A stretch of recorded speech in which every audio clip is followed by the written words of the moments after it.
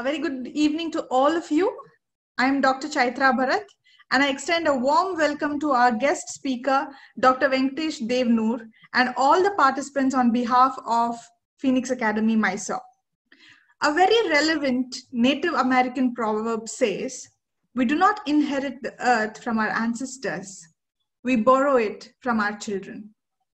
Nature has its own way of showing us humans what is our status in the circle of life. The pandemic is one such tool which has put us in our place. And I believe that if we don't mend our ways, we will be shown the way out. So before we begin our webinar on sustainable agricultural practices, I would like to lay out some instructions for the participants who are participating on Zoom. All participants, please keep your video and audio off at all times. You can use the chat box for queries. You can post your questions also in the chat box and all the questions will be taken once the speaker completes his presentation. The link to download the e-certificates will be provided at the end of the webinar, clicking which you will be taken to a feedback form and upon submission of that form, you will receive your e-certificate. Please adhere to these instructions. I would like to now introduce our guest to all of you. Dr. Venkatesh Devanur has a BSc AG degree from University of Agricultural Sciences, Bangalore, an MBA from Punjab Agricultural University. He is the CEO of AgriLife India and MD of Som Phytopharma India Limited. He has a patent for his product called BioHume, which is a vermicompost extract. He is the founding secretary of BioAgri Inputs Producers Association of India, core founding member and vice president of World Neem Organization. It is indeed an honor to be sharing screen space with such an eminent personality. Welcome, sir. Let us now start today's webinar on sustainable agricultural practices. Venkatesh, sir, it's over to you now. Okay, good afternoon ladies and gentlemen and the participants for this webinar. Today we are going to discuss what is sustainable agricultural practices or the new SAP. I thank Dr. Chaitra Bharat for providing this opportunity for sharing my views with young listeners like you. So my name is Venkatesh. As I was introduced, I'll take you through the webinar with the following contents. First, we'll review Indian agriculture and what is the demographic situation. What is crop nutrition? Impact on sustainability. What factors drive residue, residue-free food production and marketing? multinational companies' interests in the new business of biofertilizers and biopesticides. Briefly, regulatory framework for all these sustainable inputs in India. What are the market factors driving the key nutrients? We'll discuss briefly on the economics of biofertilizers and a brief introduction of our organization, AgriLife. We are in 2020. Just imagine 70 years ago, after our independence, the global population was just 2.5 billion. It means 250 crore was the global population. Now, we are almost 7 billion means 700 crores this will cross 800 crores or 8 billion as we keep seeing in the next 10 years look at the growth millennium the global population remained at around 250 crores for thousands of years after second world war till now in 70 75 years the population has grown this big, 250 crores to 700 crores, becoming 800 crores. What's the impact? The land is the same. On the contrary, croppable area is reducing year by year. urbanization takes away a lot of agricultural land. Then lot of topsoil getting eroded, desertification happening, soil health getting deteriorating, it means the net croppable land is shrinking year after year. The impact of that. In 1960, one hectare had to feed only two people for the whole year. Now, the same hectare land has to feed four people. As we go 10 years from now, it has to feed five people. Therefore, the pressure on land to grow quantity and the quality is increasing, but the population density is not coming down. What is the agriculture demand driven by emerging markets? Look at this uh, two bar charts here. Developed countries, the agricultural production has remained almost the same. They have reached a sort of a plateau. Not much increase is possible. The rest of the world, BRIC countries and other parts of the world, have to increase production steeply. That means 75% of growth in the future agriculture has to come from the developing world is except the developed nations. Therefore, these limited resources in the hands of Africa, Asia, Latin America, these are the regions to contribute for the growing or to be required additional uh, food for consumption. These limited natural resources are driving the need for innovative technology. The word innovative technology is important because science is abundant. Engineering always available.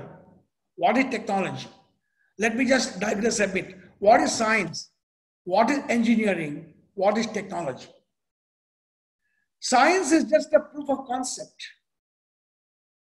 Engineering is making it happen. A mosquito is here, I can take a hammer and beat it.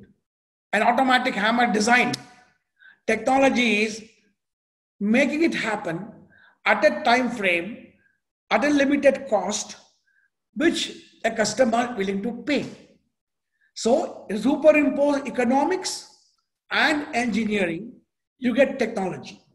Therefore, we use the word sustainable technology for growing population of this huge globe having 700 crore people now.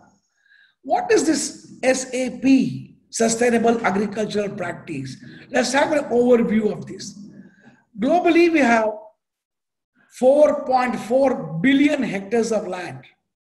Agricultural croppable area is about 4.4 billion hectares. And out of that, 1.3 billion hectares is just rain fed area. That means depending on monsoon, depending upon rain, all depending on rain fed agriculture. We have about 4.4 billion hectares of croppable area in the world rain-fed agriculture, what we call dryland agriculture, is about 1.3 billion hectares of this total. It means monsoon, rainfall have impact on the food production. Erratic rainfall results in erratic production. Abiotic pressures adversely affect the food production. What are abiotic pressures? Pest and disease is biotic pressure. Low humidity, high temperature, soil acidity, alkalinity, pH differences, EC, soil EC, All this comes under abiotic pressure. They adversely impact the crop right from the germination until the end of the crop till harvest. Continent wise, if you see the dry land area, look at this. Except the green area which you see, Europe, largely you have this kind of uh, rain-fed agriculture dependency. 30% of the Earth's area is dryland area, home to 1.8 billion people.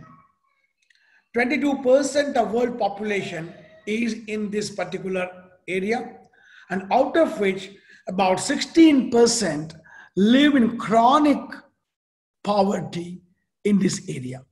Therefore, our agricultural practice is not just for vegetables, high value agriculture, not just for protected agriculture, not just for greenhouses, not just for drip irrigation.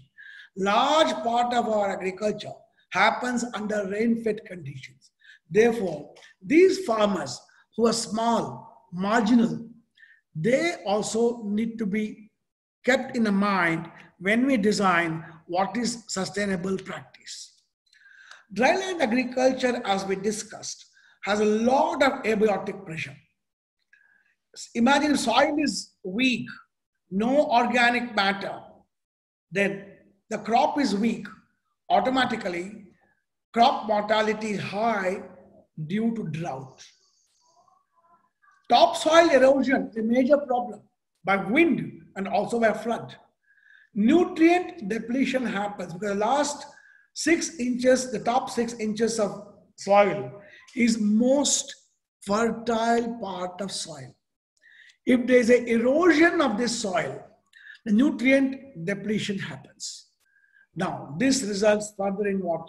Weak rooting because soil is compact below. Only small part is loose soil. The roots can only go to the few centimeters in the top. Therefore, the rooting, the anchoring becomes weak. Thereby, the uptake of nutrient is imbalanced. They can be due to acidity in soil, can be alkalinity in soil. If nothing is there, there's enough soil is not available because only top soil is a very small part. Then what are the tools that is now discussed about sustainable practices when we see? It's, let's start with you know three major nutrients. You all know about it: nitrogen, phosphorus, and potash. These are the tripods of the modern agriculture. The whole green revolution got based on that.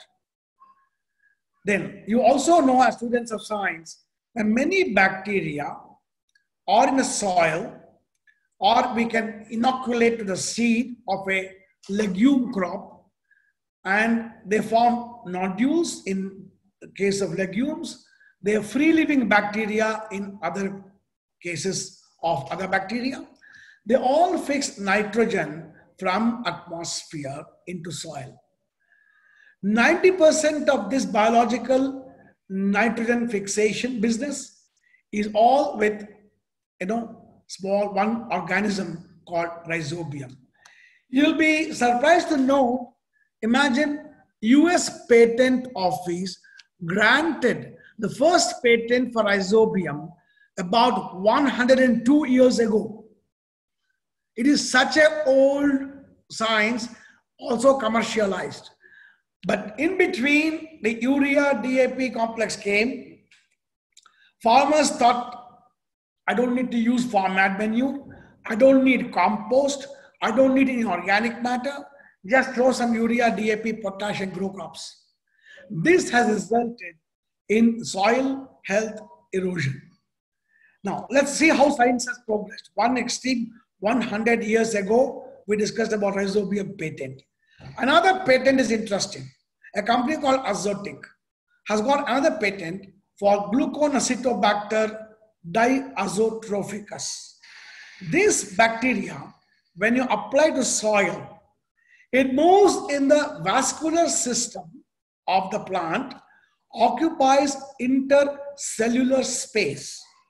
In the foliage, and fixes nitrogen from atmosphere right into the plant. Amazing kind of ability. We have been knowing this bacteria called Acetobacter, new name Gluconacetobacter. An American you know, a company, an Australian company has filed a patent also. Now, this is a, imagine if nitrogen can be fixed from atmosphere to leaf, amazing kind of accumulation can happen. And this kind of a uh, bacteria are becoming more and more important. We in AgriLife also has our own strain of this Gluconacetobacter diazotrophicus. Another example, interesting bacteria, Herbaspirillum frissengi. You spray it on the crop. This bacteria also occupies the interlaminar space and starts fixing nitrogen from atmosphere. Like this, we have 100 years of research going on in various aspects of biological nitrogen fixation, but still the products availability in the field is very, very limited.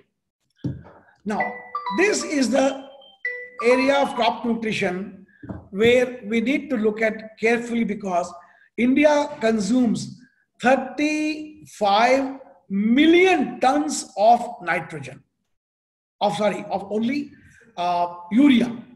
30 million tons of urea is consumed in india. And mind you government of india tells the companies sell urea at 6 rupees kilo. 6 rupees a kilo. Our neighboring country bangladesh it is 18 rupees kilo. Pakistan, 15 rupees kilo, Indian rupees I'm talking. Sri Lanka, maybe about 20. Here, 6 rupees kilo, and this 6 rupees kilo is advised to farmers to get it. Government of India pays a subsidy to the manufacturing companies, and this amounts to 1 lakh crore rupees of subsidy burden on the government of India. Imagine if we are able to derive at least 20% of or 25% of nitrogen from atmosphere, 20, 25,000 crores of money can be saved by the government and farmers can get a sustainable benefit. Like we're discussing this chart is about same thing, how the bureaucratic uh, political policy is now helpless other than giving something like 100 crore rupees subsidy to the manufacturing industry to sell urea at 6 rupees. Then your phos meanwhile what happened? The subsidy on phosphatic fertilizers, subsidy on potash fertilizers came down, the price went up. Now the farmers choose what is cheaper. They're using less and less of phosphatic fertilizer very less of potash fertilizer. The entire is skewed towards urea, urea, and urea. This is resulting in plants becoming weak, soil health getting eroded. Therefore, there is no balanced nutrition available. And if more nitrogen goes into plant by way of urea, plant becomes green. The insects come and lay the egg on a green plant because the mother will not be there to protect the young ones after they hatch from the egg. So it, the moth lays the egg in young, beautiful green plants. So more urea, more greenery, more insect pests, more pesticides, and the residues. The vicious circle continues like this. This, I call it a fertile mess Look at the economics of a farmer in Indian context. A nitrogen fixing bacteria, we call Nitrofix, AgriLife Nitrofix, for example, the dose is only 3 kilos per acre. It is sold at say 50 rupees per kilo. That means at 150 rupees, a farmer can use nitrogen fixing bacteria. And how much it gives? he spends only 150 rupees. Now, look at the urea. You have to use 50 to 100 kilo per acre. nitrogen availability is say 46 kilo or half of that. Now, minimum consumer price is 300 rupees per bag of urea equal to 20 kilograms of nitrogen. That 300 rupees worth a farmer can get at 150 rupees by way of nitrogen fixing bacteria. And don't forget, on top of 300, farmer saves 150. Government of India saves probably maybe another 150 rupees. Thus, there is a very effective solution to improve soil health and burgeoning subsidy can be reduced. We can look at more sustainability because if soil is not spoiled, soil is not spoiled, the crop will be growing for millions of years like it happened in history. You may recall a few years ago, United Nations declared International Year of Soils. And they said, if we continue the present condition of soil, in next 30 to 40 years time, soil will become bankrupt. How do we increase the productivity, health of soil? This health of soil can only be looked at by increasing farmyard manure or organic fertilizer. Organic fertilizer. So the organic fertilizer means basically increase soil organic matter. The soil organic matter gives organic carbon. If more organic carbon means better bacteria will survive. Now we are making the soil bankrupt, existing bacteria getting killed, new bacteria is not coming. This soil organic carbon, this pulse of the land is getting eroded day by day.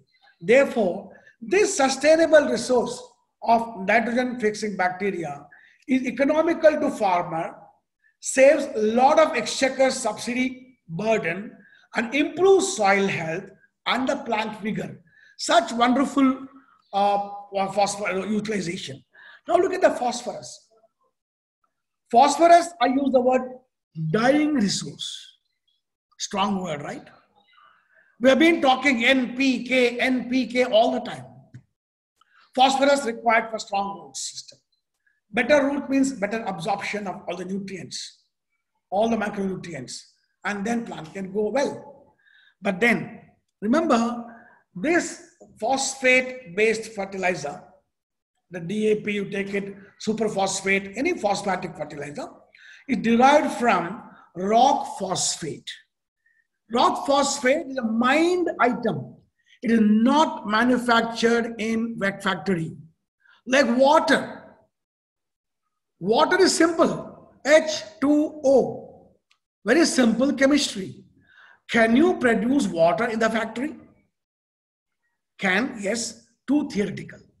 It needs millions of wattage of power when lightning happens. And that is when the fusion of hydrogen and oxygen takes place and actual water is produced at that point of time. Thereafter, it falls in the rivers, in the ocean, and then there is a evaporation, then cloud formation, condensation, precipitation. The cycle goes on, on and on. But the real water formed only by such extreme high reaction. Similarly, phosphorus cannot be produced in the factory. It's only mined item. How long you keep mining? Global sources say phosphorus deposits may run out in next 75 to 100 years. USA will lose it much before. What is this called? We call this as, you know, example, you keep mining phosphorus, if your consumption is say 100 million tons, if mining is 100 million tons, if it's equal, it's called phosphorus peaking. And mind you, phosphorus is not produced just used just for agriculture. It's a big industrial commodity. Apart from agriculture, used in industries. Now, a certain stage, when 30, 35 years from now, our net consumption of phosphorus will be equal to net mining quantity. It becomes a sort of equal, we call it phosphorus peaking.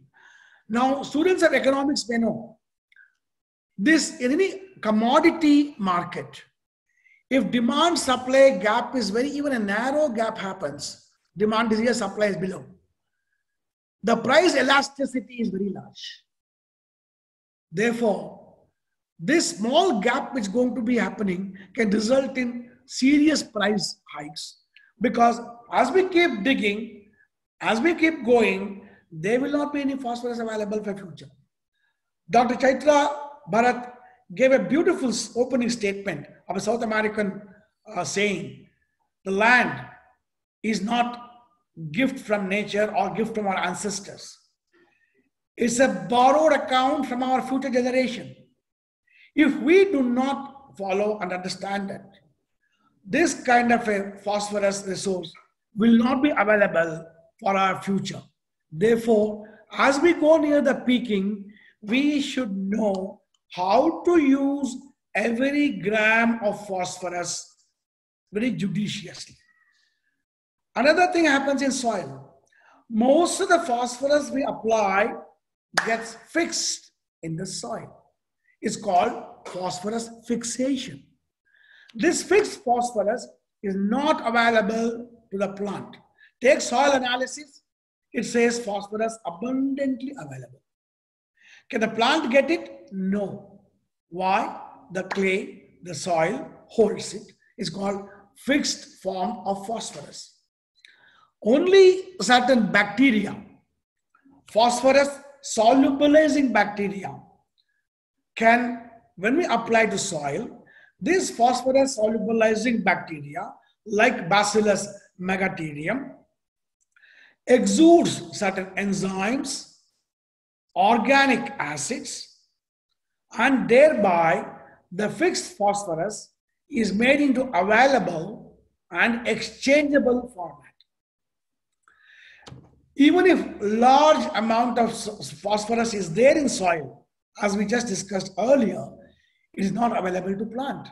Therefore, again spending some more phosphorus, more money, an expensive fertilizer, and a resource which is not going to be taken for granted. It's not like air. I keep breathing all the time.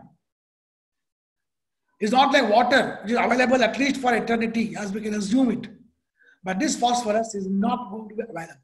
Therefore, all the bank, the fixed deposit of phosphorus in the soil has to be solubilized slowly and then start consuming to the plant.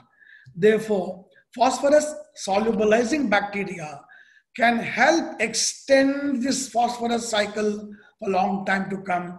If you don't realize it, it's like killing an egg, you know, hen, which gives a golden egg every day. It will have, what we are doing is same thing now. The economics for a farmer, let us see, same like we discussed about nitrogen fixing bacteria. Here also the dose is about three kilograms per acre. These three kilograms of phosphorus solubilizing bacteria can solubilize about 20 kilograms of phosphorus from the fixed to exchangeable form. What's the price farmer pays? Example, 50 rupees kilo, 150 rupees. In this 50 rupees kilo, if he pays, the retailer is happy for his margin, distributor is happy for his margin, manufacturer is happy for his margin, all commercially being happy, farmer gets at a price which, in which he'll be very happy. That is a win-win-win situation. It is equivalent to imagine single superphosphate, for example, needs about 100 kilograms per acre, gives 16% phosphorus. And imagine 700 rupees is the cost a farmer has to pay for it. Now it may, my chart is a little old, it may be more now. Where is 700 rupees? Where is 150 rupees? Such an enormous difference in the price for a cost for a farmer and bank which is not used by anybody. You open the key, slowly tapping it. While doing it, you reduce the subsidy to government cost and increase the bioavailability of phosphorus. Stay away from phosphorus peaking as long as far as possible. Therefore, this kind of a bacteria is a highly sustainable resource. Now let's say we have, of course, I'll skip this thing. Now go to potassium. NPK, three modern, you know, tripods of modern agriculture, we call it. Potassium is a K, kalium. There is no real shortage. Abundant reserves are in the mines. But it's a very interesting situation. It's an oligopoly. You know, monopoly means one person controls it. Oligopoly means few people control the resource. Like you have petroleum, you know, OPEC is a cartel. Few countries sit together and decide this is going to be the price. Like that, potassium, five countries dominate 90% of production reserves of potassium. Now, what's happening? They can cartelize, do a cartel, and in fact, 70% of global supply of, of potassium just controlled by three large multinationals. They can sit together over a cup of coffee and decide any price. Because they know India doesn't have phosphorus, or potassium. We need potassium, so increase the price. In fact, some years ago, they increased so much, our government of India declared potash holiday one year. They said, we are not going to buy. Let's see what happens to sellers. We are the biggest buyer. If we don't buy, they may come down. Sadly, they didn't come down in the price. We have to increase our cost, buy it at the increased price, and agree to buy and continue to buy at this kind of thing. It happened about eight, nine years ago. And with all this, we simply say, though availability, availability is good, scientists estimate for about 250 years, it may be available. Not for eternity. Imagine Indus Valley civilization is about three, 4,000 years old. Agriculture existed then also. Nile civilization is four, 5,000 years old. It existed. Mesopotamian civilization, Chinese. So we're talking thousands of years of history of mankind in evolution. And agriculture has been always there. And the inputs used by the growers has always been there. They use it judiciously. And the population, remember, never exceeded 250 crores worldwide. After Second World War, mankind, human beings, probably have had the most peaceful time in the history of humankind. These 75 years after Second World War is the most peaceful time.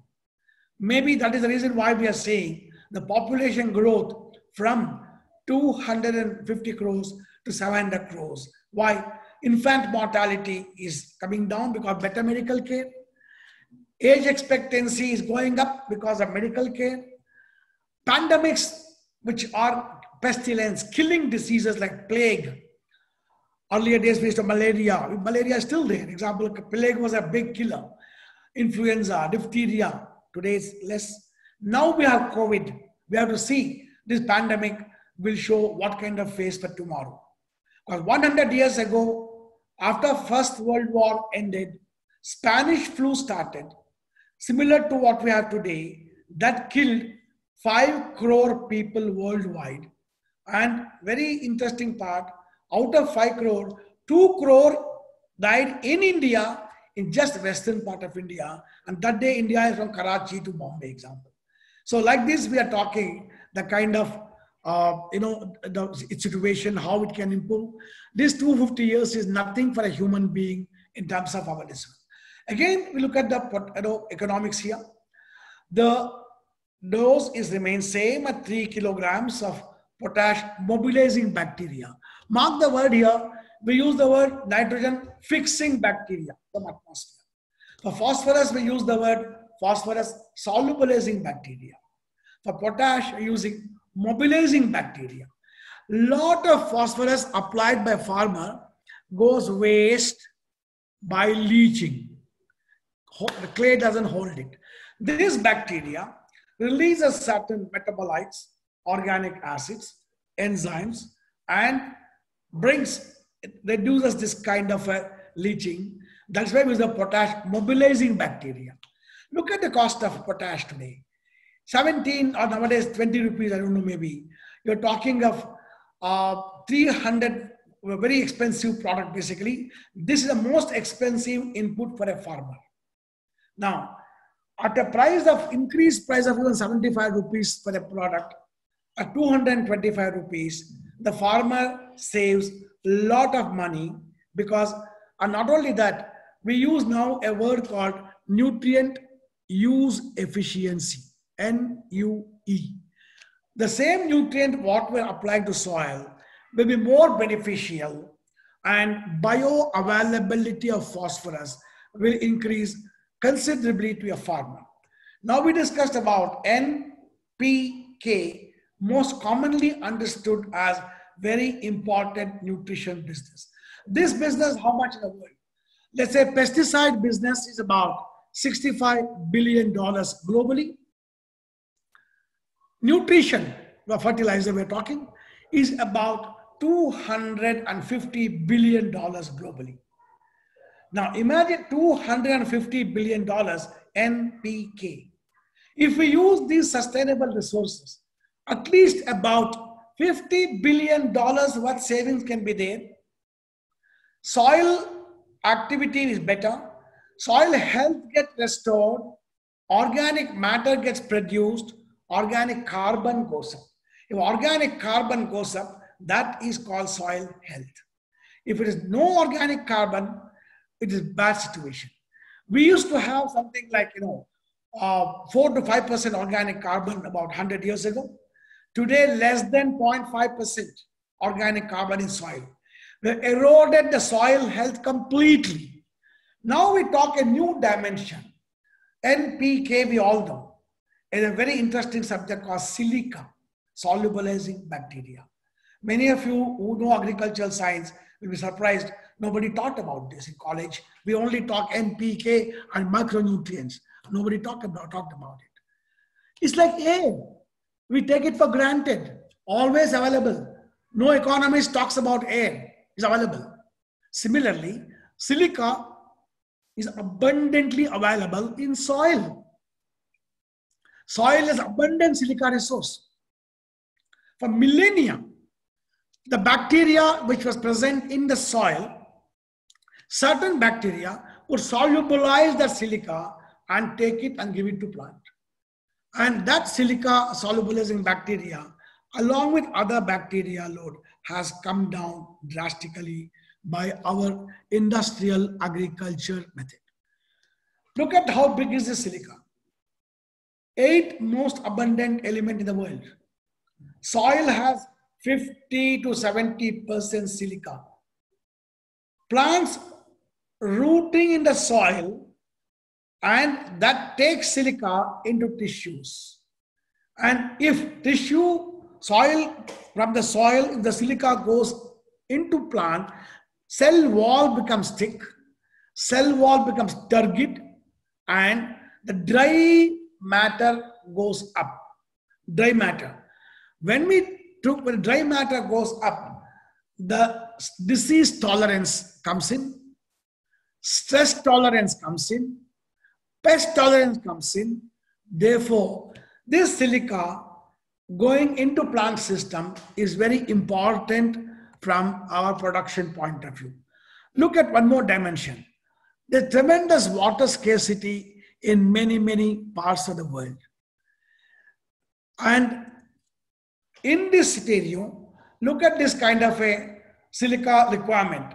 Let's say rice if NPK requirement is about, say, 120 kilogram per hectare, twice over is the requirement of silica. Look at sugarcane, maybe 300 kilograms NPK total required. Silica alone is 500 to 700 kilograms. So silica requirement is twice over the combined requirement of nitrogen, phosphorus, and potash. If you call NPK as major nutrient, what should we call silica as? Mega nutrient, the most important nutrient. But we didn't realize the importance of silica all these hundreds of years because nature had abundant bacteria which could solubilize the silica, reach it to plant as much as plant wants it, and plants used to take required quantum of silica. Today, this silica is not being pulled up by the plant because it is not in the available soluble form. The bacteria responsible for solubilization process has depleted. Therefore, sufficient silica is not going. Therefore, plant is more susceptible for diseases, insect attacks, and very importantly, abiotic pressure. I'll come to it later. Look at how our silica is you know, helping in the uh, plant system. As we said, it reduces, it's soluble as a silica. This bacteria exudes certain metabolites, enzymes, organic acids to convert insoluble silica into soluble silica and make it available to plant system. Now, this silica can be applied to soil, can is already in soil. We can give a bacteria can be given, the bacteria can be given as a coating. This bacteria helps in solubilizing silica. Let's look at this interesting, why silica is important basically. Have you seen example in the deserts of Saudi Arabia or anywhere in the Arabian desert? Which is the natural tree growing? Dates. Date palm. How in the desert, such deserts, this date palm can survive and give a beautiful fruit. Palms have, as a palmaceae as a family, have exceptional ability to draw silica from the soil. If silica goes into the plant system, some mysterious things happen. Evaporation, transpiration loss comes down. The leaves become with deposits of cell, heavy cell wall with lots of silica deposit. Therefore, pest and disease infestation gets greatly reduced. By natural selection, these dates are growing in desert areas. Look at our, another, another, another analogy of Indian uh, writers. Before the advent of newspaper, all written script was on the palm leaves. Ramayana, Mahabharata, Ayurveda, all were written in palm leaves. Why did our ancient sages, gurus, chose palm leaf? Look at the palm leaves. Hundreds of years it remains in a nice, unspoiled way. In Tibet, 2000 year old palm leaves are available in the monasteries. Why did our gurus, ancient sages, chose this palm leaf? Palm, as we just discussed earlier, has exceptional ability of taking silica. The more silica it goes in, it is embedded and no fungus, no mold can attack this silica, but the palm leaf and the insects cannot bite it. They lose the mandibles also.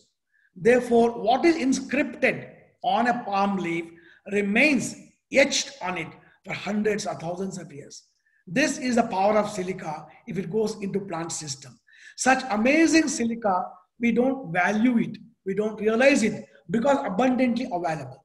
Now, this particular bacteria is called silica solubilizing bacteria is a very important bacteria we have isolated from a very deep quartz mines embedded between the layers of quartz. You know, how hard is quartz? This bacteria may have been eating this silica, what you call quartz for millions of years. And when we isolate it, produce it, give it to soil, soil solubilization for that is like eating Tirupati laddu, you know, so soft for that basically. That is an eminent bacteria. We in AgriLife have it as a private collection. We did some basic trials of this very interesting trial. You can see here, we take the silica solubilizing bacteria the eggplant is brinjal. We take the silica solubilizing bacteria and just, you know, drop them in the uh, pouch having the seedlings of brinjal. Irrigate it, control and treat it until germination happens. After germination, stop watering completely. Daytime, the pouches, the, the pots are outside. Nighttime, you may have the dew giving water. It disturbs the experiment. We bring it inside. Look at after 15 days, they're still alive. Look at 25 days after water withdrawal. Means we do not give a drop of water.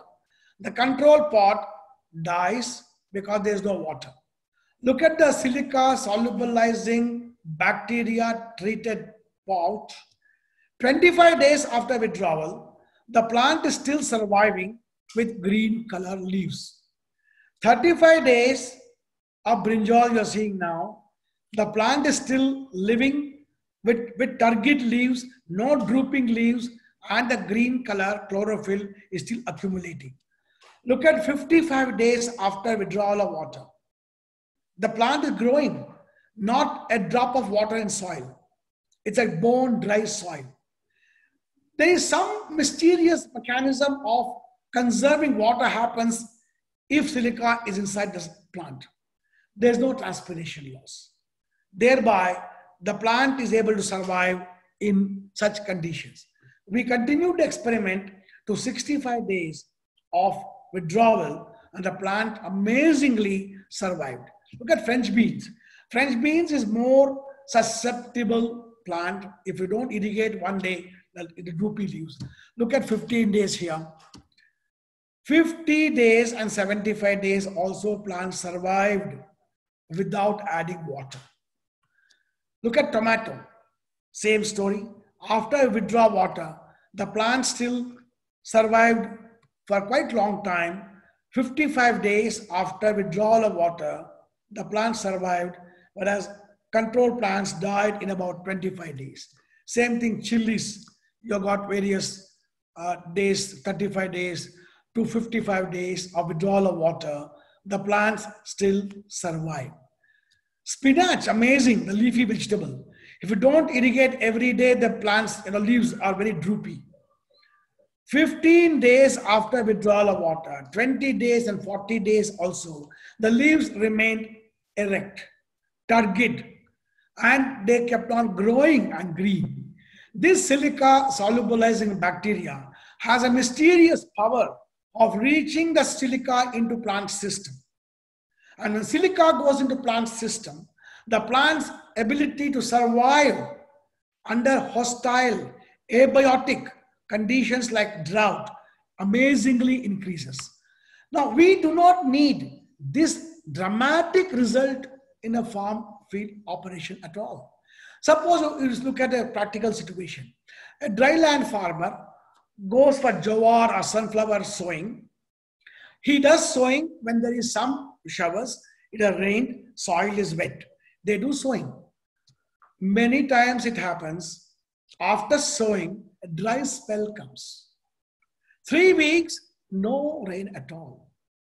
Then the germinated sorghum or whatever the rain-fed crop withers and dies. Farmers spend money on the seed, expensive labor for sowing, has a hope to earn some money and live and feed his family. In 15 days, his dream is shattered and emotionally imagine how distraught for a person to see the crop dying just because there's no rain. Imagine if we were to save the crop for about two weeks. I'm not talking here 40 days, 50 days, 75 days. This dramatic result not required in a farm. Sustainable way for about two weeks or three weeks if the plant survives after sowing.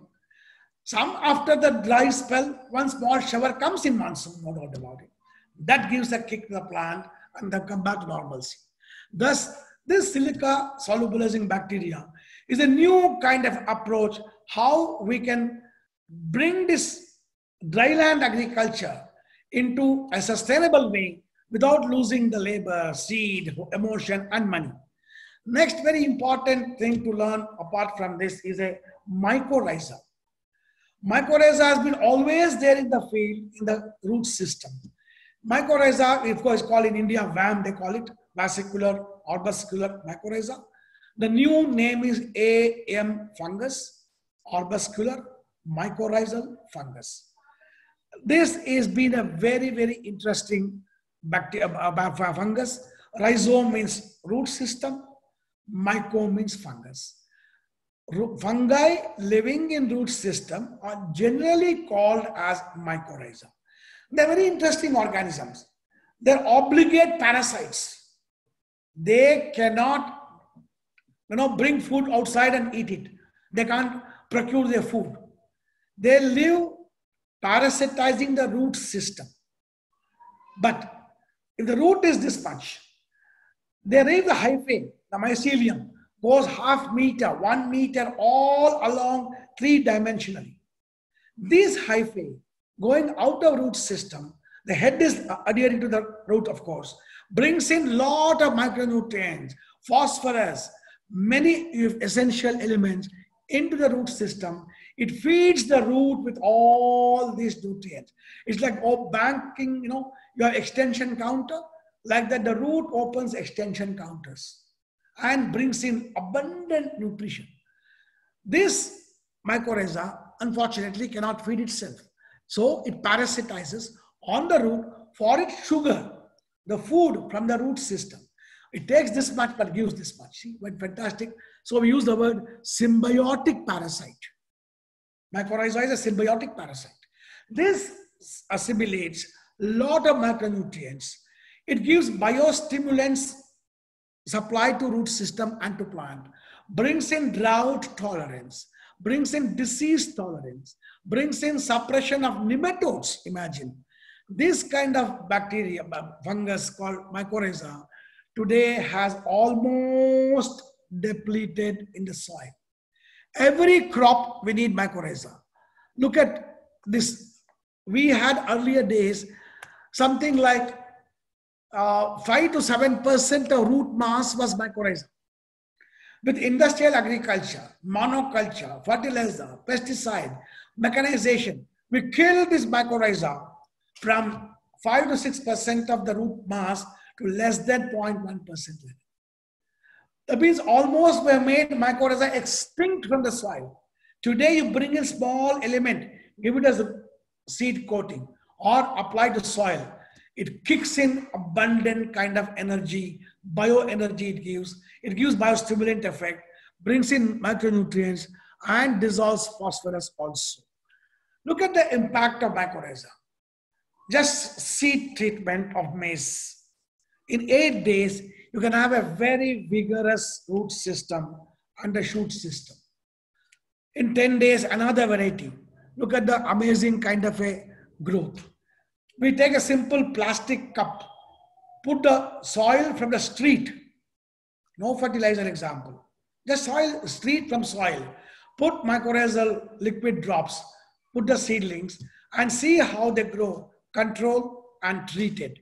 Look at them after about 12 days, a mat of root forms on the bottom, mat of roots.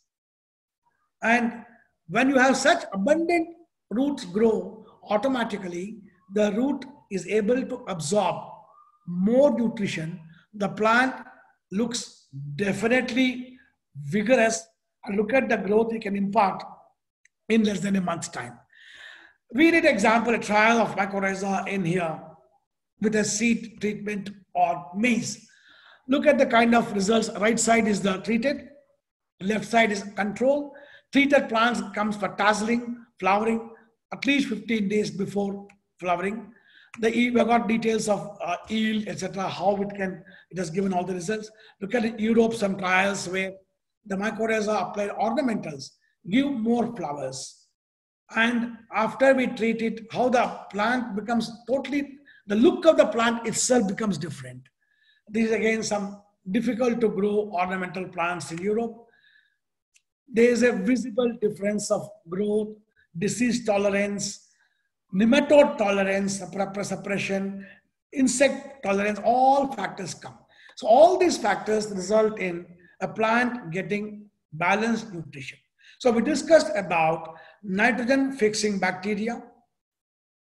It can save lot of money which is being spent by government as a subsidy.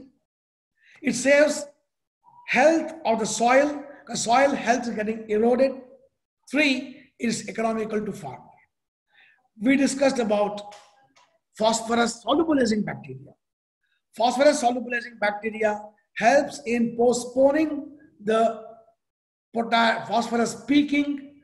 Every drop of phosphorus available in fixed form can be utilized by this phosphorus solubilizing bacteria. Potash mobilizing bacteria we discussed. Most expensive is potash element. 70% gets wasted by leaching. This leach, uh, uh, bacteria helps in mobilizing phosphorus, potassium into plant system. We discussed about an amazing new bacteria, silica solubilizing bacteria, which is never normally talked about by anyone. This silica solubilizing bacteria provides most important requirement more than NPK. We, we said two times the combined requirement of NPK into plant system. It imparts cell turgidity. It imparts drought tolerance. It imparts insect resistance. It imparts disease resistance. And all this together, the plant becomes much healthier. This is we discussed about silica solubilizing bacteria. Then we discussed about a forgotten microbe called mycorrhiza, which is a very important symbiotic parasite, which adheres to body at the head inside the root system, but extends the hyphae to half kilo, half a meter to one meter beyond the root zone and brings in nutrition from all places and gives the biostimulant effect to plant system. These are resources which are they've been there in the soil for millions of years.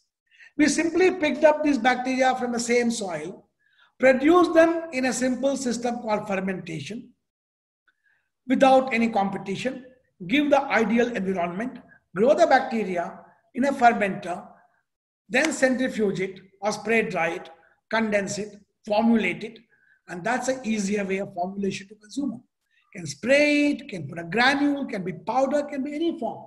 Very not consuming much labor and machine. Thus, these resources can preserve the health of soil. Number two, bring down the pesticide dependence, increase the resistance, immunity for human beings. As you know, immunity is better. SARS or COVID or AIDS or anything will not affect the human beings. We need to be energetic, have an immunity system built up. These all the soil bacteria not only help the plant, we are, as, as per naturopathy, we are what we eat. We are what we eat. Therefore, these bacteria are helping us to produce some real edible, not just consumable, edible, clean food, which has to meet the growing population from this 700 crore to next 800 crores, both in terms of production, quantity, and quality. Therefore, we in AgriLife, we have been doing this R&D for last many years. We have been present in many parts of the world. We focus on producing uh, units, you know, what would you call organic agriculture inputs, useful in organic agriculture, useful in residue agriculture, free agriculture, normal commercial agriculture, this is how the particular, uh, what do you call, sustainable resources can be produced basically and used by the farmer. This helps in farmers keeping the soil health for longer number of years, bequeath the soil to next generation with better soil health than what we inherited. This is our moral responsibility to treat Mother Earth with all the respect and these sustainable agricultural practices, what I discussed only one part of SAP. There could be many, many dimensions we're talking. One dimension is soil bacteria in the soil sustainable agricultural practice. You want to know more about us? You can get the, uh, you know, click our video in YouTube.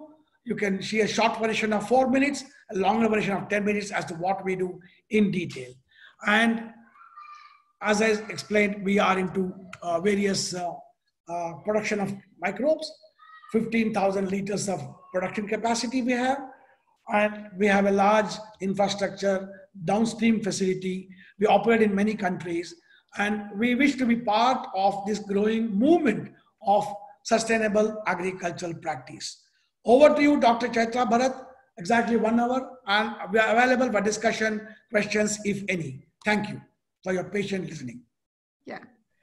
Thank you so much, sir. We have questions, uh, which uh, I'll, I'll read them out to you one by one. So, uh, Bhavari Lal is asking, in our country, most farmers are using chemical fertilizer to improve crop yields. Researchers from agriculture departments are trying to produce effective fertilizer to reduce the use of chemical fertilizer and to form sustainable agriculture. But most farmers still don't want to use biofertilizers because of lower crop yields. Do you think that biofertilizers can replace the use of chemical fertilizers in the coming years? We do not envisage replacement. Now, biofertilizer is actually misnomer used by, I don't know, industry or scientists sometime earlier. When we use the word biofertilizer, farmer thinks it's a replacement of fertilizer. It's a wrong word, we have used it. Only as you have seen, nitrogen fixing bacteria to an extent can be called a true biofertilizer because it fixes atmospheric nitrogen into soil for about 20 kilograms of nitrogen per acre. That means about 50 kilograms of urea, or one bag urea, can be reduced by, replace, by using this bacteria. If the crop requirement is 50 kilograms of nitrogen, another 30 kilograms of nitrogen has to come from other source. Other source is like eating food. I can, calorie I need. I can take it by rice, I can take it by ragi, can jawar, can be anything. For urea replacement or fertilizer replacement only is good quality compost, farmyard manure. That only is a replacement. Whereas what we give is an inoculum. Similarly, phosphorus. Phosphorus bacteria doesn't give phosphorus. It solubilizes fixed phosphorus. Potash mobilizing bacteria doesn't give potash. The 70% wastage, what would have happened is arrested. Therefore, we help the farming system to optimize nutrient use efficiency here, N-U-E. While doing it, soil health is increased, organic carbon level increased. Therefore, is not a replacement. Replacement is either compost or NPK. We come as a sort of a over and above that for solubilization, mobilization, and also for optimization. Thank you. Right. Uh, why have biofertilizers not found that place of prominence what they deserve in soil fertility and plant nutrition as an invisible driver of soil fertility and plant nutrition? Have they, do, do they have any negative effect or defects? Uh, are there any of this that have been reported? There's no adverse effect of any soil bacteria ever reported. They are always, I use the word soil bacteria millions of years, they have been inhabitant in soil. We didn't create them. They're not alien. They're all naturally occurring soil bacteria. And they've been there responsible. Look at the forest. Let's say rainforest of Amazonia, Indonesia. Do we put NPK there? Look at the trees growing 200 feet tall. Flush leaves. They get drought, forests get heavy rains, they get forest fire. So many insects come, but over a period of time, how the plant trees grew. It is because the soil, a new word we are learning nowadays, microbiome. Soil microbiome gets customized for each plant. It derives certain benefits for customizes to each kind of a crop. Now, by monoculture habit, what we have done, and chemical farming, because 6 rupees urea available, 300 rupees one bag. Nobody wants to think beyond that. 6 rupees kilo. They one bori, throw it. Tomorrow morning is green color. Now, day after tomorrow, we forget it. The adult insect, mother, mother's instinct to protect her next generation. And mind you, insects do not live to see children at all. It's the only species where mother doesn't live after child is born. Lays the eggs and goes away, dies. So, but it selects such a beautiful part of plant or certain plants where it knows very well my children, when they grow up from the eggs, they have abundant food to eat. So our urea applied plant gives beautiful greenery for second day, third day, immediate quick relief. Fourth day, the insect comes and the brood develops again. Then pesticide company happy, pesticide dealer happy, money lender happy, everybody is happy except the farmer. So on the contrary, no negative effect is only the perception. How a farmer looks at them. Do I want a quick result from biofertilizer? No. We have 50, 75 years we have taken to spoil the soil health almost completely. Tomorrow morning we can't repair it. Organic carbon is depleted. Therefore, farmer has to come back and think how I bring this minus 10 to zero. After zero, I go to plus. Luckily, current generation of young farmers in India, they are better aware, they're getting aware of this. They're quite appreciative of the fact they need to maintain soil health. So quick result by the chemical inputs. What farmer is used to it, that was cheapest price, six rupees kilo.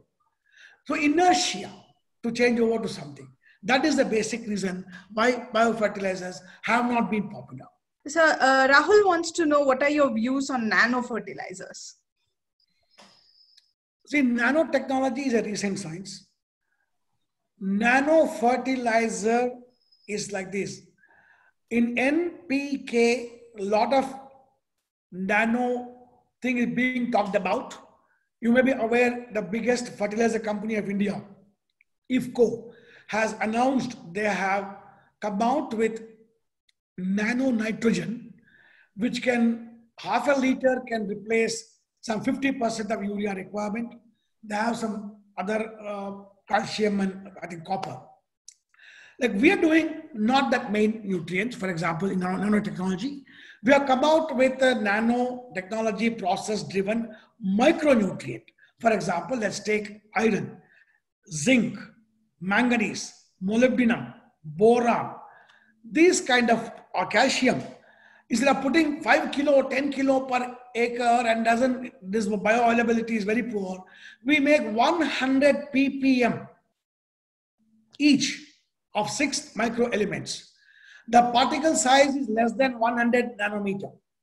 Just one liter per acre is really substituting something like 25, 30 kilograms of this salt-based fertilizer. So nanotechnology for the micronutrients is already available. We have commercialized it. And a big company like IFFCO is already talking of nanotechnology driven uh, phosphor, uh, nitrogen and also phosphorus.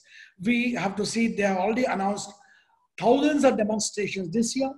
Probably they might commercialize in a few years from now. So hopefully this will bring in, as we discussed, 1 lakh crore subsidy. 30 million tons of urea. No, we are mind-boggling consumption. Worldwide, nobody uses as much as we do. Therefore, I'm sure this nanotechnology will bring down this kind of a uh, imbalanced use to a more productive use. Great. So next question uh, is from uh, Maruti Gaudasa. He is uh, he has joined the webinar from the UK. Uh, he's asking whether these microbes are useful for uh, perennial crops. Can they work on trees or are they specific to certain crops or species of plants? In general, we are talking these category as soil bacteria. We don't use the word crop bacteria. The soil bacteria, as we said, has depleted. If we increase the soil microbiome level, soil, you know, the bacteria level, variety and numbers, what happens? The soil health automatically improves. When soil health improves, whether it is annual crop or a you know seasonal crop or a crop like sugarcane or banana one year or orchards and trees of multiple years, all are getting equal benefit. For example, mycorrhiza once you colonize the root system of, of the plants, they grow three-dimensionally and tree crops respond beautifully well for mycorrhiza. Short duration crops earlier days, mycorrhiza was not recommended, but now there's so many good species available, even for vegetables and field crops, they're useful. Therefore, the in general, we use the word free living bacteria in the soil. Some are, of course, for seed treatment for, you know, the, uh, of the legumes for the purpose of getting nodulation. In some cases, like again, mycorrhiza can be also seed dressing also. As a whole, whether it's a seasonal crop or a multi-duration crop, all these bacteria and fungi are equally useful in bringing the results and benefit to farmers. Uh, Bawari Lal uh, wants to know how many potassium mobilizing bacteria are identified in uh, I have been identified in the soil. Uh, he, he, I mean, he, there's a doubt that one bacteria from banana rhizosphere was identified, but it is not very popular. Frateuria aurantia is a gram-negative bacteria. Is most popularly used as potash mobilizing bacteria.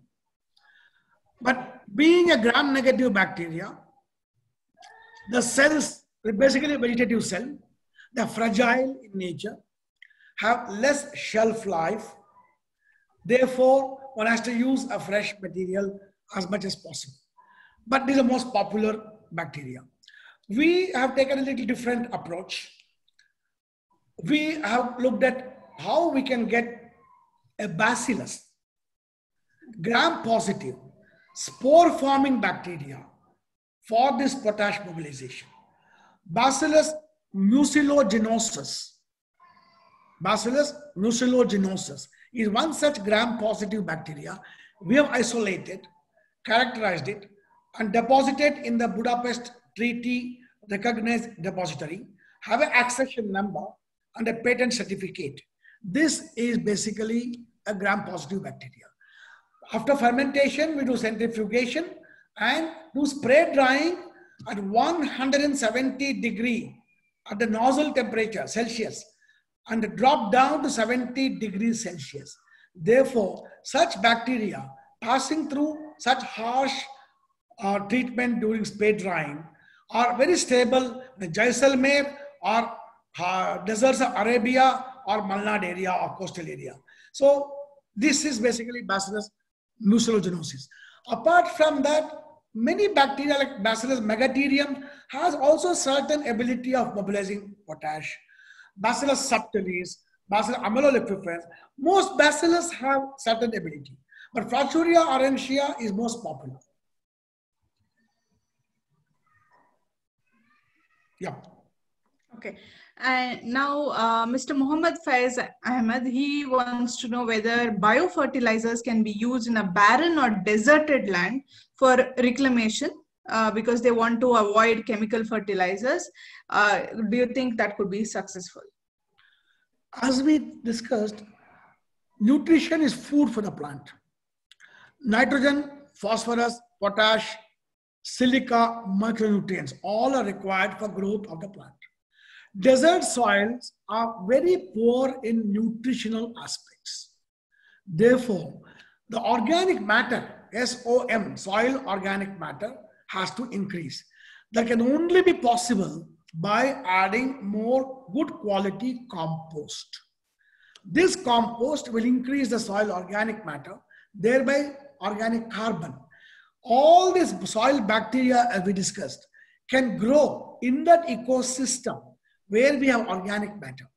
If there is no organic matter, this bacteria cannot grow. That is why in desert areas, for example, in uh, Saudi Arabia, UAE, many countries, uh, aqua, what do you call this? Uh, uh, hydroponics is becoming popular, or cocoa peat cultivation, or you know some minerals. You have a box and you grow in the greenhouses, where you feed all nutrition by salts by drip irrigation.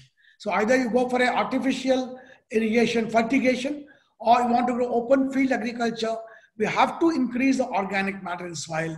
Then only it's possible to have a good agriculture in desert soils. Um, so Rashmi Ranjan Moharana wants to know how can organic inputs be better used in frontline demonstration purposes? Do you have any suggestions for extension? what our experience has been is like this. In last 20 years, we have been trying various marketing ideas, how to promote the concept to the grower, how to impress a farmer paying money. Unfortunately, our experience, and everybody agrees to it, when we sell nitrogen fixing bacteria, for the webinar, it sounds nice by you and me, educated people. Phosphorus mobilizing bacteria, all good to hear. But when a farmer pays that 150 rupees and buys that 3 kg and applies, unfortunately, he does not see any tangible difference because soil is already weak, number one. Number two, labor availability is going down, please note every year. Therefore, herbicides, weedicides use is going up. Cheap urea available. 90% of chemical poison pesticides sprayed on the plant with one rain goes down to soil so we are doing a collective mass killing of all the good bacteria forever we have done. Therefore, today to expect miracles to happen from that soil bad ecosystem to this good bacteria doesn't happen. Therefore, what we did, we understood this limitation. We tried to make a sort of a good formulation where these factors we all bundle together, give it to farmer, and when he uses it without much any technical knowledge, without any understanding of biological uh, unit, he still sees the difference. He's happy. So what we did, nitrogen fixing bacteria, which is based on again gram positive uh, bacteria called Bacillus. Uh, sorry, uh, um, this is a nitrogen fixing bacteria. Then we have phosphorus solubilizing bacteria, potash bacteria, silica bacteria, mycorrhiza. They all need food to eat to start with, mind you we discussed soil ecosystem is bad now. So we added some humic substances, fulvic substances, micro, you know, this uh, seaweed extract, plus ascorbic acid. You'll be surprised to know ascorbic acid and thiamine have great positive influence on this bacteria. So we made one compressed product called root. You can see in our website, Rootum Bio. Rootum Bio is one such product. Just all these bacteria we call soil probiotics plus prebiotics. What are prebiotics? Food for bacteria and vitamins. When we give this form, say put for 4 kilos granule, you throw it. Farmer sees a very visible difference in two weeks time. And when he picks up the plant, sees the root system, he finds a very visible root system difference.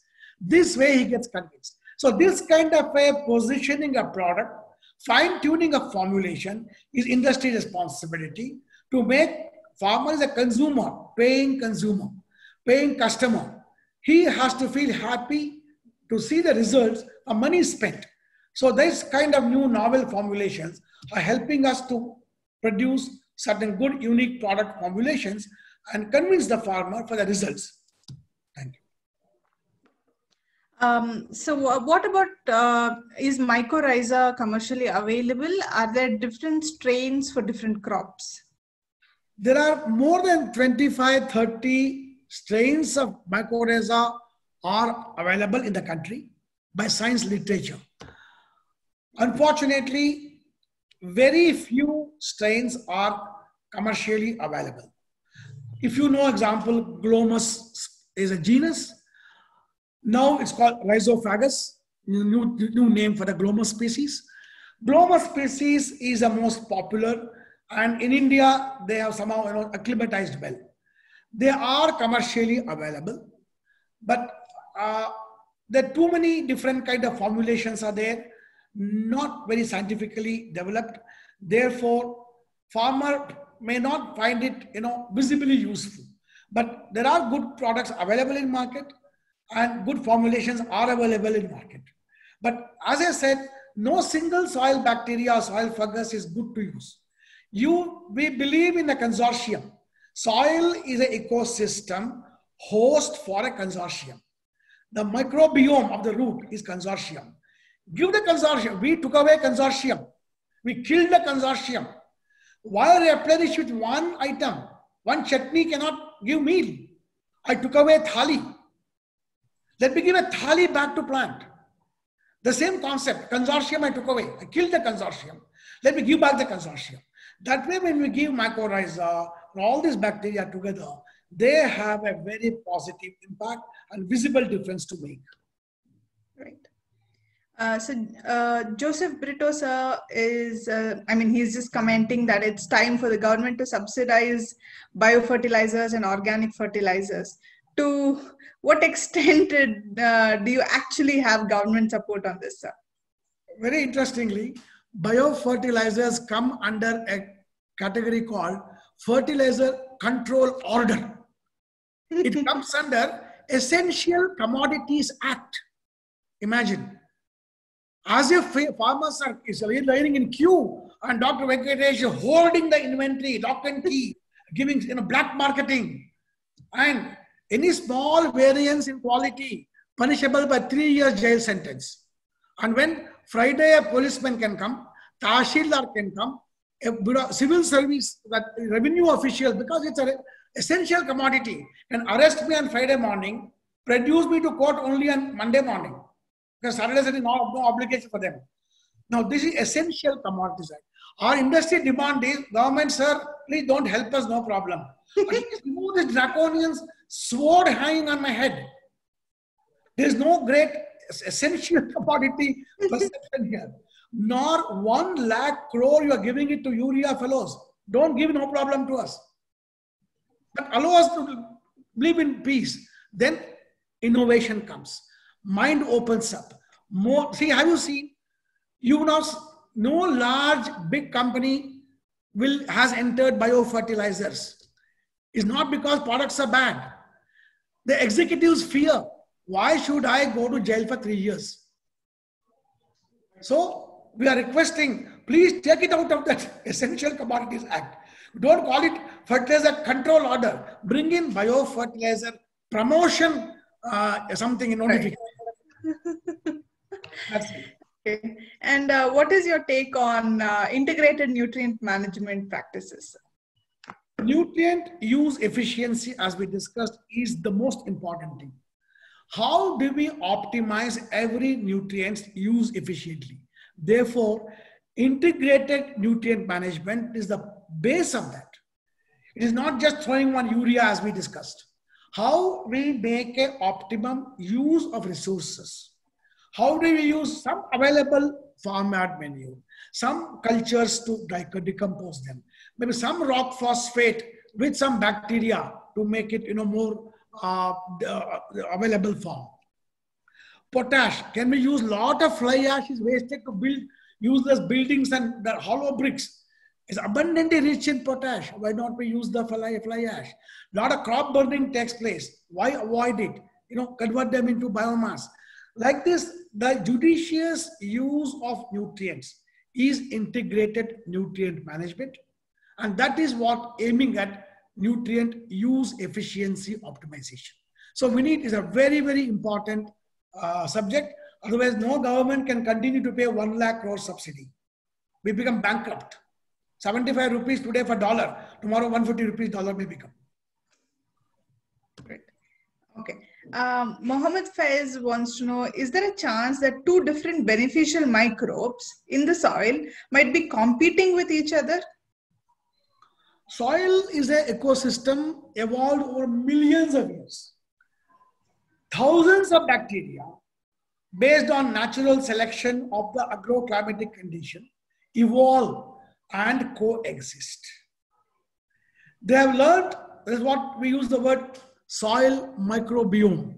Each crop, each tree, in its natural vegetative uh, form, when it was there for millions of years, developed a unique ecosystem. Like, for example, let's say our human beings, we have trillions of bacteria in our stomach. Now, a Chinese diet doesn't have milk, example. So certain bacteria which can survive in a milk gut environment will not be in their stomach.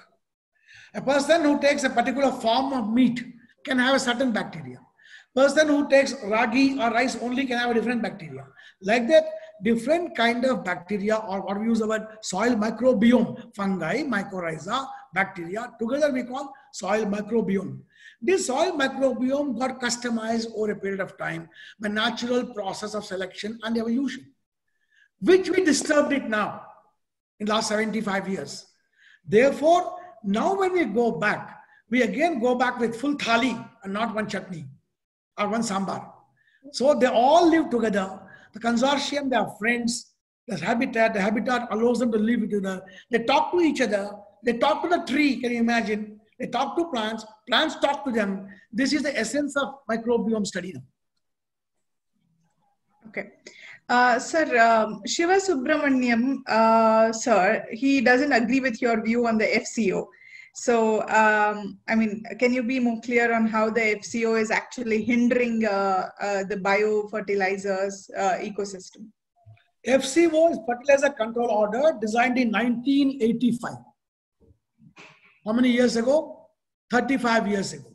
That says, for example, phosphorus solubilizing bacteria in powder form should have moisture content of 30% to 35%.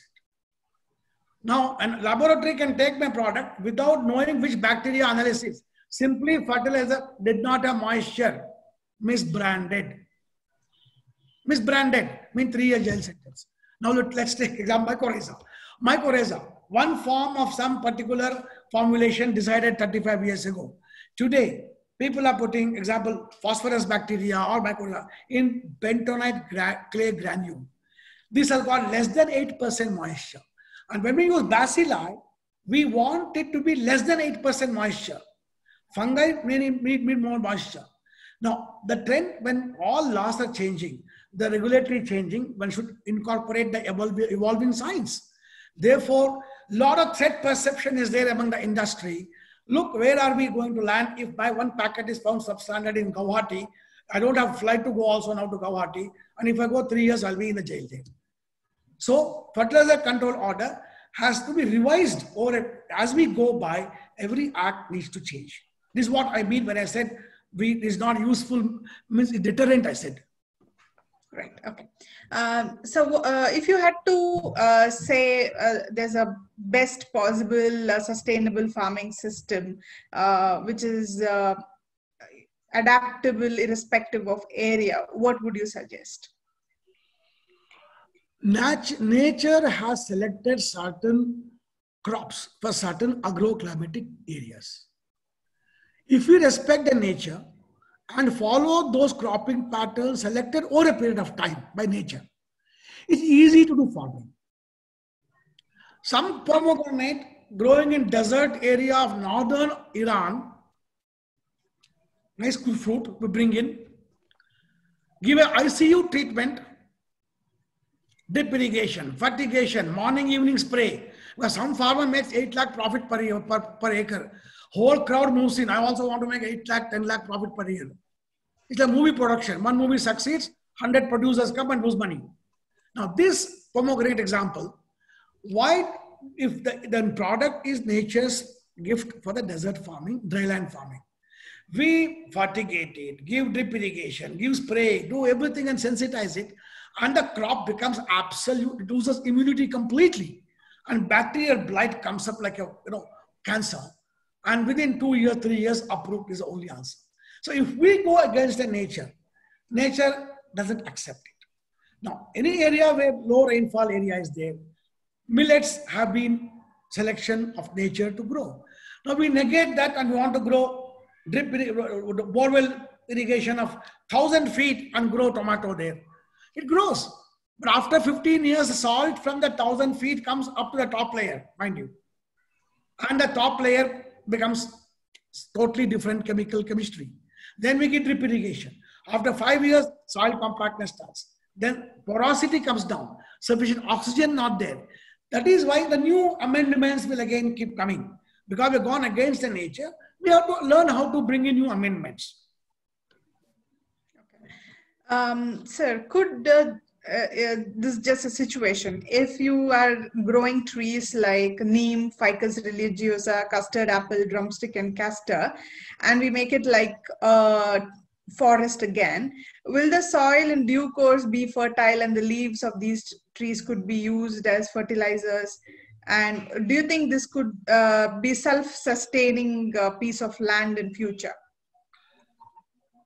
All biomass gets converted by microbes or earthworms over a period of time, they all become beautiful organic fertilizers. No doubt about it. But as per you know requirement, if you look at how much you need it, probably 10% of land is required to grow this kind of green manure, leafy or yielding trees or green manure crops. Our problem is we have about 140 million hectares of land. Farming families, about say 140 million farming families, having one hectare per family. Subdivision fragmentation by every year. That land is getting further subdivided, fragmented. Urbanization takes away some more land. Now, in this kind of subsistence farmer of one acre, two acre, three acre, five acre, if I tell him you grow trees all around, 10% of land you give for trees, 10% for water harvesting, there's no contour bund in that small two acres. Therefore, when consolidation of agricultural practice happens, that's a real SAP will come tomorrow. I'm happy government has already realized it. Draft already has come on how this kind of land use pattern can be changed. Corporate agriculture to come in. Then the farmer happily can give it a lease to the corporate farm company, work with them, get paid, and retain the ownership of land without fear of losing it. Then at least 100 acres if you have an area, you can do the, all these kind of a good practices and make the soil highly fertile. A lot of farmers have done it and it's possible. Okay, there's a little change in uh, Ahmed's uh, question. So he asked whether there'll be competition between two strains of uh, uh bacteria or uh, microbes in the soil. What about in artificial, uh, in any artificial medium or in water? When we do a, if, talking about a formulation, for example, a formulation yes, yes. with various bacteria consortia. Yeah. We have uh, under uh, realized is when we mix example, all the gram-positive spore forming bacteria, which needs less than 8% moisture and make a powder formulation or a, a formulation in oil or a you know mineral oil, etc. The shelf life of individual bacteria, they remain the integrity, they retain the integrity, they all germinate in soil when they grow. Challenge is if a gram negative bacteria, which needs you know higher moisture in the formulation, to be made blended with a consortium with a bacillus, it's a challenge. So we still have to address a lot of such production challenges. Uh, it's still a young industry. As I said, no big company has entered this business. They're still entering now. So we need a lot of science uh, literature in the our scientists have done a good job in universities and publications. Industry, we have not yet taken it, basically adopted it. So some interaction with scientists will evolve over a period of time and industry will learn about it. Okay. Uh, so Jimmy Sangma wants to know whether you can just comment on use of biopesticides in relation to chemical pesticides. Chemical pesticides, if are green chemistry, if the farmer understands pre-harvest interval, stops using the particular product, say it says 45 days before harvest, don't use PHI. And if it followed like that, the produce, food, feed, fodder, will not get the residue of that pesticide. It will be less than the MRL, less than the maximum residue limit. But indiscriminate use of product without knowing when to use it, without knowing what is pre-harvest interval and mixing various products will result in what? That residue getting forward into the food cycle also. That is bad. So we do not say the pesticide is bad. Use any product judiciously so that a farmer can use a generic good product off patent, less expensive product in the first part of cropping cycle. After flowering, when productive stage comes, slowly wean the poisons and bring in this kind of green, green products or green chemistry, then harvest a good crop by in an economical process. So consumer is happy with buying it, producer becomes happy. So this kind of a learning has to come. Okay. Um, okay, sir. Uh, Vasanta wants to know if uh, the consortia prepared by AgriLife is available in the market. we have a product called Rutum Bio, but we generally do not go to market and sell anybody. For example, we have a joint venture company with Koppert Biological Systems of Netherlands. We make and make in that label that is given to UPL, you know, very large company called UPL, a product called Copio, C-O-P-I-O. Copio is a consortium of all what I discussed basically. Is given as a three kilograms granule for broadcasting. Or Koppert Biological Systems also market own brand, Vichy Roots, 100 gram powder. Spray in the two leaf, four leaf stage. All the bacteria goes to soil, grow three dimensionally. So it's available in the marketplace by this kind of companies. We supply sometimes. Uh, Mohammed Rafi wants to know uh, what is more beneficial monetarily for a farmer, organic farming or chemical farming? Organic farming is a good practice, but then we are talking of 7 billion people to feed. In the first three years of organic farming practice, you know, a farmer has a generally 30% to 40% yield comes down he still doesn't have a certificate of organic to get the premium of 30%. So he's bound to lose some 30% of revenue. Now, a farmer of four or five acres growing ragi or jawar or sunflower or groundnut, if I tell him lose one third yield for three years, he's not going to listen to me. He has to feed his family first. Number two, if India is a 130 crore people or 137 crore people actually, if we start growing less and start buying outside, on my international international market it's like elephant going for begging. Nobody can feed it. So we need to make a blend a good practice of use green chemistry safe products see the label look at the pre-harvest interval look at the residue level blend the good chemistry with new green chemistry old chemistry no problem with the biological products natural products. Then bring in economic product which we call no residue output. I don't use the word organic. Organic is tangential. It's like vegan. I am vegan means I don't take, I don't use the you know, wallet by made by the leather also. I don't eat honey, I don't eat chapel. It's extreme. But there are people doing it, no doubt about it. Like that, well, let's talk a normal thing, a residue-free farming. A paying consumer wants food and not poison with that free. It's not buy one, take one free concept. Therefore, customer has to produce something what customer wants it, a paying consumer. While doing it, he should not lose his money. So residue-free farming is more practical to feed 7 billion people. So thank you so much, sir. That was the end of our question and answer session. Um, so I thank all the participants who joined us on Zoom and all the participants who have been watching this program on uh, Facebook page.